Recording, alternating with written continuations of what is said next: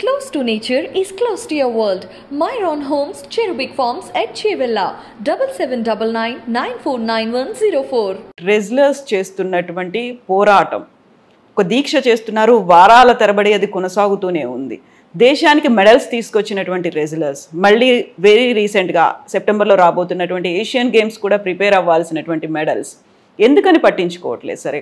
ఎక్కడ లోపం అనేది కనిపిస్తుంది అక్కడ తప్పొప్పులు ఎవరు అన్నది నాకు తెలియదు కాబట్టి దానిలోకి వెళ్ళాను నేను. కానీ ఇది రెండు మౌలికమైనటువంటి సమస్యలు ఎత్తి చూపుతోంది. ఉమ్, మొట్టమొదటి అసలు మన దేశంలో చట్టబద్ధ పాలన లేదు.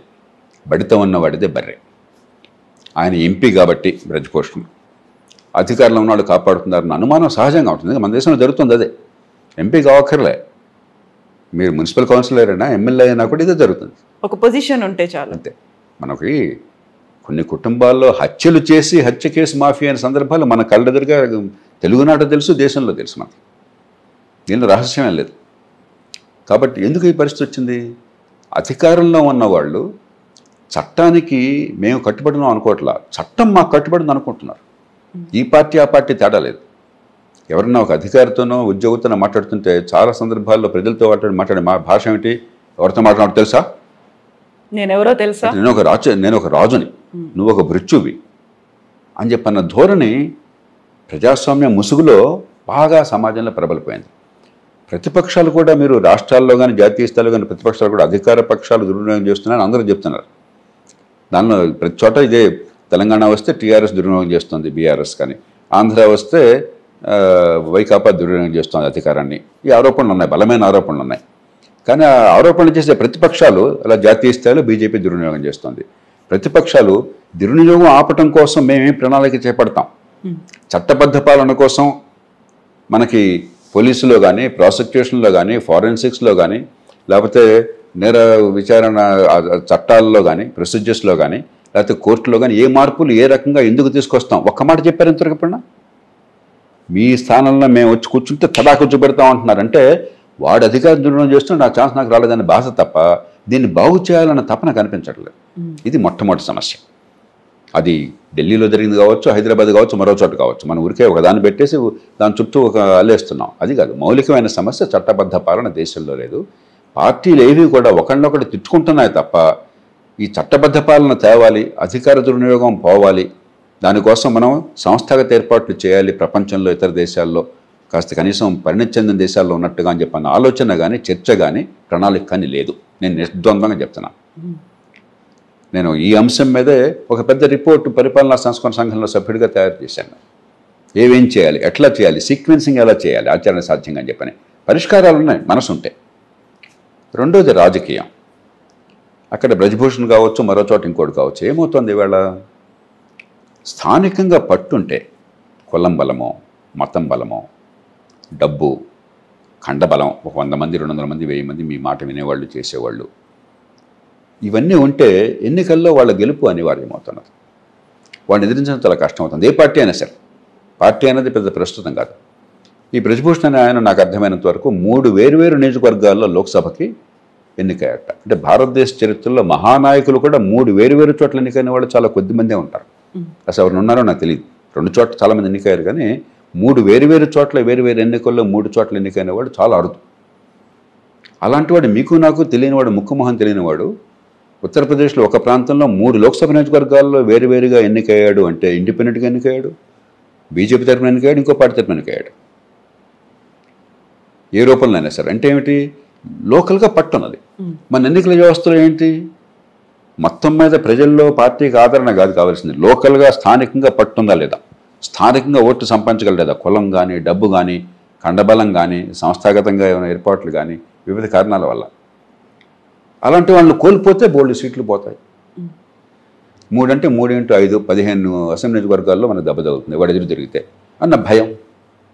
అన్ని పార్టీలకి అన్ని చోట్ల ఇదే సమస్య. లేకపోతే పార్టీలకి ఫలానా వాడు ఉంది. వాడిని పెట్టుకుంటే మనకు అప్రతిష్ట ఈ దేశానికి మంచిది కాదు తెలియక కాదు తెలుసు. వాళ్ళు పూర్తిగా వ్యవసలైపోయినారు ఏమైనా చర్య తీసుకుంటే గట్టిగా ఇలాంటి వాళ్ళ మీద రేపొద్దున అక్కడ ఓడిపోతే రేపొద్దున మనం అన్న పాపం మంచి చర్య తీసుకున్నారంటే కాబట్టి ఓడిపోయారు మనం సానుభూతి పెడతాం ఓడిపోయారు అంటాం. కాబట్టి ఎన్నికల వ్యవస్థను మార్చాలి. మన పార్టీని తిట్టిపోయడం చాలా తేలిక. కర్ణాటకలో మనం చూశారు కదా ఎలక్షన్ టైం వచ్చేసరికి ఎంతమంది అటు ఇటు ఇటు అటు జంప్ చేశారు. మన మీద పార్టీలు అనుకున్న పార్టీల పాడ వ్యక్తులకి వాళ్ళ వాళ్ళ ఆడంబరం. వాళ్ళ అధికారం వాళ్ళ అహంకారం వాళ్ళ ఉనికి వాళ్ళ గుర్తింపు. అందుకోసం ఎన్నికలు రాజకీయం తప్ప ప్రజల సంక్షేమం కోసం పార్టీలు విధానాలు రూపొందించి ప్రజల ముందుకు వెళ్ళి దానికోసం కాదు. అయితే తాత్కాలిక తాయిలాలు లేకపోతే ఎన్నికలు ఓట్లకి ఇచ్చే డబ్బులు ఇక కులం మరొకటి ఉపయోగించేసి ఏదో రకంగా ఎన్నికలు గెలుపు సాధించే ఏర్పాటు. పోలింగ్ బూత్లో ఓట్లు వేయించుకోవాలి? దర్శం అది చివరికి లక్ష్యం. ఈ ఎన్నికల వ్యవస్థ ఇలా ఉన్నంతకాలం మనకు మనకున్న ఎన్నికల వ్యవస్థ మన బేదరికంలో ప్రస్తుతం ఉన్న పరిస్థితుల్లో డబ్బు ఖర్చు పెరుగుతుంది. తెలంగాణలో మనం చూస్తున్న రోజు కర్ణాటకలో చూసాం మనం ఎంతంత ఖర్చు ఎంతో రెండోది ఇలాంటి వాళ్ళ మీద ఆధారపడకపోతే ఎన్నికల్లో గెలుపు సాధ్యం కాదనే పరిస్థితులు వస్తున్నాయి. ఇప్పుడు తెలంగాణలో ఎంతమంది జంజీలను తయారవుతున్నారు అటు నుంచి రోజు ఆకర్ష వికర్ష జరుగుతుంది కదా మీరు చూస్తున్నారు కదా. ఎవరన్నా ఆ మనుషుల చిత్తశుద్ధిని గురించి కానీ నాయకత్వ లక్షణాలను గురించి కానీ సమాజానికి వాళ్ళు ఇచ్చే మంచి సూచనలు పరిపాలన గురించి కానీ మాట్లాడుతున్నారా? ఆ చర్చ ఎక్కడ వస్తుందా? ఏ పార్టీకి ఎవరు వెళ్తున్నారు విషయంలో? వాడికి అక్కడ బలం ఉంది. ఎట్లా కొట్టి వాడు నెగ్గుకొచ్చే అవకాశం ఉంది. వాడు కులం వాడు ఉన్నాడు. వాడికి నోట్లు ఉంటాయి అది తప్ప సమాజానికి దీనివల్ల మంచి జరుగుతుందా లేదని చెప్పి చర్చే కాకుండా పోయింది. ఈ రెండు ఉన్నంతకాలం బ్రజభూషణ్ లాంటి సమస్యలు అన్ని రాష్ట్రాల్లో ఏదో రూపంలో ఉత్పన్నం అవుతూనే ఉంటాయి. ఈ రెంటిని పట్టించుకోకపోతే ఎంతసేపటికి ఒక కేసు పట్టుకుని ఈ పార్టీ ఇరుకునుంటే వీళ్ళనే ఆ పార్టీ ఇరుకునుంటే వాళ్ళని తిట్టడం తిట్టుకుంటే తిట్లు శాపనార్థాలు ధ్వని వినిపిస్తుంది దేశం మారదు. సో దేశానికి మెడల్స్ తెచ్చినటువంటి అథ్లెట్స్ మళ్ళీ ఇందులో మనం పర్టికులర్గా మాట్లాడాలి. మహిళలకు సంబంధించి వాళ్ళు ఒక క్యాంపెయిన్ చేస్తున్నారు కంప్లైంట్ చేస్తున్నారు ఒక పోరాటం చేస్తున్నారు రోడ్ల మీద కూర్చుంటున్నారు. అదెందుకు పట్టించుకోలేకపోతున్నాం సార్? ఎంతసేపు పొలిటికల్ పవర్ ఇంత డామినేట్ చేస్తుంది? దీనివల్ల పోయేటువంటి రాజకీయంగా కలిగే నష్టం కంటే అతన్ని కోల్పోవటం వల్ల కలిగే రాజకీయ నష్టం ఎక్కువ అన్న అంచనాకు వచ్చారు కాబట్టి. పచ్చిగా చెప్తున్నాను లెక్కలు. ఒక అవినీతిపరుని తీసేస్తే చాలా రాష్ట్రాల్లో జరిగింది. అవినీతిపరుడిని తీసేస్తే అవినీతిపరుని తీసేసిన కారణంగా పెరిగే ప్రతిష్ట వచ్చే ఓట్ల కంటే వాడికి స్థానికంగా బలం ఉంది కాబట్టి వాడు వాడు ఎదురు తిరిగితే పోయే నష్టం ఎక్కువ కనిపిస్తుంది. సో అలాంటప్పుడు మనం స్పోర్ట్స్ గురించి కానీ పథకాల గురించి కానీ దేశము దేశ ప్రయోజనాలు మహిళలు మహిళల గౌరవం కాదు. ఎన్నికల్లో గెలుపు. అది అన్ని పార్టీలు చేస్తున్న పని. ఈ పార్టీ ఆ పార్టీ కాదు. గోండాలని పెట్టని పార్టీ భారతదేశ చరిత్రలో లేదు. కాబట్టి ఈ పార్టీ ఆ పార్టీ మనం దానిలోకి వెళ్తే మనకి ఇక్కడ మాట మాట్లాడతాం ఇంకో చోట ఇంకో మాట మాట్లాడతాం. అది కాదు. మూలంలోకి వెళ్ళాలి. నా దృష్టిలో ఈవేళ పరిస్థితుల్లో పార్టీలు అలా స్థానికంగా బలం ఉండి ఏ రకమైన నైతికత లేకుండా ఉండి గోండాగిరి చేసే వాళ్ళకి బందీలు అయిపోతున్నారు. బయట ఎన్ని ఓహం హుంకరించినా కూడా వాళ్ళు కాదంటే ఎదురు తిరుగుతున్నారు ఓడిస్తున్నారు. కాబట్టి ఎన్నికల వ్యవస్థను మార్చడం ఈ కారణంగానూ మౌలికంగా దేశ ప్రజాస్వామ్యాన్ని మార్చడానికి చాలా అవసరం. అందుకే నేను చాలా కాలం నుంచి కొన్ని మార్పులు చేర్పులతో దామాషా పద్ధతి తీసుకొద్దాం. ఒక పార్టీకి వచ్చిన ఓట్ల శాతాన్ని బట్టి సీట్లు అన్నారనుకోండి యూపీలో కానీ దేశంలో కానీ ఈ అప్రతిష్ట వల్ల ఆడపిల్లకి అవమానం అవమానం జరుగుతున్న అప్రతిష్ట వల్ల ఒక శాతం ఆరు శాతం ఓట్లు తగ్గే ప్రమాదం ఉందనుకోండి అప్పుడు పార్టీ తిరిగి ఇంకో రకంగా ఉంటుంది. కానీ మన ఎన్నికల వ్యవస్థ అట్లా జరగదు. మీరు ఎన్ని చెప్పినా కూడా లోకల్గా వచ్చేసరికి అక్కడ లోకల్ ఫ్యాక్టర్స్ లోకల్ ఫ్యాక్షన్స్ అక్కడ కులాలు ఇవన్నీ కలిపేసి రకరకాల కారణాల వల్ల స్థానిక బలం ప్రధానమవుతోంది తప్ప పార్టీ ప్రతిష్ట పెద్దగా ప్రధానం కావట్లేదు. ఆ కారణంగానే ప్రతిష్టను కావాలంటే వదిలేసుకుంటున్నారు. చూద్దాంలో మిగతా వాటిలో మనం భర్తీ చేసుకోవచ్చు. ఆ పార్టీ నాయకత్వం తెలంగాణ టీఆర్ఎస్ బీఆర్ఎస్ అనుకోండి తెలంగాణ తెచ్చాం కాబట్టి ఆ కీర్తి ఉంది మా కేసీఆర్ గారికి పేరు ఉంది మోదీ గారిని అనుకోండి దేశంలో ప్రజలు నమ్ముతున్నారు కాబట్టి ఆయన ఉపయోగించుకుందాం. ఇంకో ఆయన ఉంటే ఇంకో ఈ రకంగా ఇది ఇక్కడ ఇబ్బంది ఉన్నా కూడా ఏదో రకంగా అధిగమిస్తానులే కానీ స్థానికంగా బలం పోతే మొత్తం పోతాం మనం. అందుకే ఎరవేయటము వాళ్ళని పట్టుకోవటము ఒక్క పార్టీ అన్న బీజేపీ కావచ్చు వాళ్ళ అధికారంలో ఉన్న పార్టీ కావచ్చు కాంగ్రెస్ కావచ్చు ఇంకోటి కావచ్చు సిద్ధాంతాల ప్రకారం పార్టీలో చేర్చుకోవటం తీసుకోవడం ఉందా ఏమన్నా? ఎక్కడ చూసారా మీరు ఇది? వాడికి బలం ఉంది వాడు గెలిపిస్తాడు. సమీకరణాలు వేరే అంతే. ఉంటాయి అంటే వాడు మనకు కావాలా? వాడు ఎలాంటి వాడైనా పర్లేదు. మౌలికంగా రాజకీయం అధికారం కోసం అధికారమే లక్ష్యం అయిపోయింది. వ్యక్తులకి పార్టీలకి అధికారం అవసరం అయినప్పుడు గతి లేక వాళ్ళు కూడా అబద్ధం సృష్టిస్తున్నారు. చాలా పార్టీలకి వాళ్ళకే లక్ష్యం లేదు అధికారమే లక్ష్యం.